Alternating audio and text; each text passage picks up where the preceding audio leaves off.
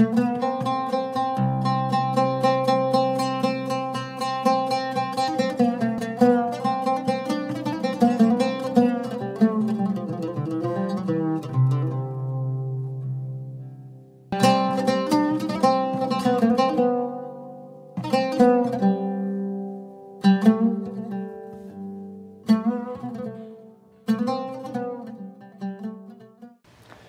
الله الرحمن الرحيم.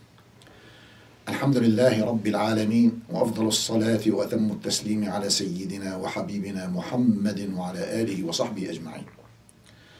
وبعد أيها الإخوة سنتناول في الحديث آية من الآيات والآيات التي تحدثت عن المنافقين كثيرة. آية من الآيات توضح لنا جانبا من جوانب النفاق. وقبل أن نتحدث عن الآية فمعناها واضح وسهل ولكن ينبغي أن نبين ما هو النفاق. النفاق أن يكون ظاهر الإنسان شيء وباطنه شيء آخر.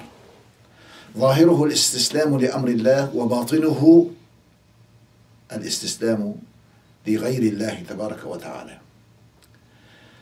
وأذكر بأن عبد الله بن عبد الله بن أبي بن سلول رئيس المنافقين في المدينة كان يضم له الخرز ليتوج ملكا في المدينة على الأوس والخزرج. فعندما قدم رسول الله صلى الله عليه وسلم وآمن الناس به وأصبح التشريع من عند الله والحاكم بالتشريع والمنفذ له ورسول الله صلى الله عليه وسلم ضاع الملك منه فلهذا لم يؤمن. ضاعت السلطة وضاعت الزعامة. وعلى هذا كثير من الناس الذين تتوجه غرائزهم. الله سبحانه وتعالى وضع في كل واحد منا حب الاستطلاع وحب التسلط وحب كذا. ولكن هذه السلطة ينبغي أن تستعمل في الخير. عندما أكون رأسا لأولادي لا أؤذيهم ولا أضربهم. إن وربهم تربية حسنة. عندما أكون رأسا في وظيفة أوجههم للخير. هذا منهج الله. أما عندما تزداد الأمور إلى حد التسلط لأحقق منهم أهوائي ومصالحي أصبح الأمر مختلفا. إذا المنافق في حقيقته يعبد غير الله. ينفذ أموره من أجل مصالح معينة تظهر أنه يستقيم على أمر الله ولكنه لا يريد أن ينفذ أمر الله. متى حصل النفاق ومتى يكون؟ في مكة لم يكن هناك نفاق لأن الكفار هم المسيطرون.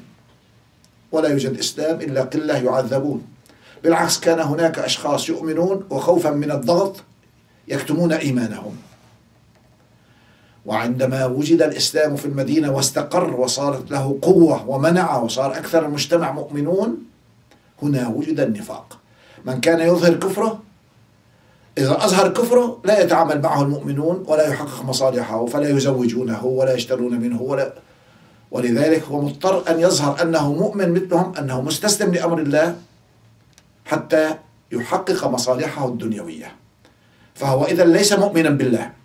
طيب هذا بالنسبة لعامة الناس هل يكون النفاق أيضا في الزعماء والحكام؟ نعم يكون لماذا؟ لأن الحكام الذين عندهم شعوبهم بأكثرية مسلمة ولو كانوا يجهلون إسلامهم يخشى الحاكم منهم إذا أظهر كفره وأظهر أنه لا يريد أمر الله ولا حكم الله يخشى الحاكم أن يثور عليه فلذلك يتظاهر بأنه مسلم وعندما يحصل الصدام بينه وبين الناس يظهر كفره. فليس الناس قد كفروه إنما هو ظهر كفره. عندما تولى وأخذ راحته يظهر الفساد في الأرض ويهلك الحرث والنسل. هذا ما تبينه لنا الآية القرآنية حيث يقول ربنا تبارك وتعالى أعوذ بالله من الشيطان الرجيم ومن الناس من يعجبك قوله في الحياة الدنيا. ويشهد الله على ما في قلبه أنه مخلص لله وأنه يعمل من أجل المصلحة ومن أجل دين الله. ويشهد الله على ما في قلبه وهو ألد الخصام ألد المخاصمين في الباطل. هو لا يؤمن بهذا الحق الذي يؤمن به الناس.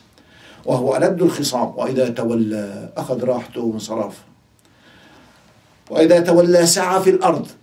تحدث القرآن بكلمة سعى. والسعي هو المشي السريع يعني يسرع. ماذا يسرع؟ ليفسد في الأرض. سعى في الأرض ليفسد فيها ويهلك الحرث والنسل. الحرث الزراعة. أما وجد أما فسرت هذه الآية للناس بأعينهم عندما يرون المزارع تحرق؟ لماذا؟ فقط للإفساد في الأرض ولإيذاء الناس. فهذا إجرام أشد من الكفر والعياذ بالله تعالى. ويهلك الحرث والنسل. نسل الحيوانات يقتل الحيوانات حتى لا تنتج. أو نسل الإنسان. يقتل الشباب يقتل النساء يقتل الأطفال حتى ينقطع النسل وتستفيد أعداؤنا من اليهود وغيرهم من ضعفنا. ويهلك الحرث والنسل. وإذا قيل له اتق الله. يعني هذا حرام هذا كذا. يغضب يقول لك أنت تكفيري لك يا أخي ما أنا كفرتك أنت كفرت وأظهرت كفرك على الناس بشكل فاحش.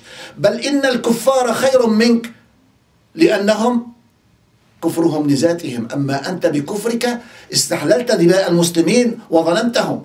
فنفاق الحكام أشد خطرا من نفاق عامة الناس وإن كان كل ذلك خطر. سعى في الأرض ليفسد فيها ويهلك الحرث والنسل. يدمر الماشية ويدمر الزراعة ويدمر نسل الناس ويقتل النساء والعياذ بالله تعالى ويغتصب النساء ويهلك الحرث والنسل. والله لا يحب الفساد. هذا هو الفساد في الأرض. الله أنزل الدين من أجل إزالة الفساد حتى يعيش الناس بسلم وسلام وأمان. والله لا يحب الفساد. وإذا قيل له اتق الله يعني خاف من الله بدك تروح إلى الآخرة. ما لا, لا ينبغي أن تعمل هذا العمل. أخذته العزة بالاسم. أخذته حمية الجاهلية. الجاهلية ليس جهل القراءة والكتابة جهل الحق الذي أنزله الله. فتأخذه الحمية. وكيف تكفره؟ هو لا هو جيد. عندما نقول لبعض الناس يا أخي هذا حرام. إيه أنت تعرف أكثر مني أنا بعرف أكثر منك. أسأل الله العافية. أخذته العزة بالإثم. فحسبه جهنم ولبئس المهاد. بده يعيش بيخلد؟ ولو قالوا بعض الناس عن نفسهم خالد وخالدون لا ملك الموت سيأتي رغم أنوفهم ويوضعون تحت التراب ويأتي اليوم الذي يدوسه فيه الناس. هنا تظهر حقائق الأمور وعندما يقدم على ربه يرى أنه في قعر جهنم وأن هؤلاء المتسلطين على الناس الذين آذوهم أشد الإيذاء هم أول الناس يذهبون إلى جهنم ولهم مقام محدد. ولذلك قال الله تعالى عن المنافقين إن المنافقين في الدرك الأسفل من النار. أسأل الله العافية. والحمد لله رب العالمين. وصلى الله على سيدنا محمد وعلى آله وصحبه أجمعين.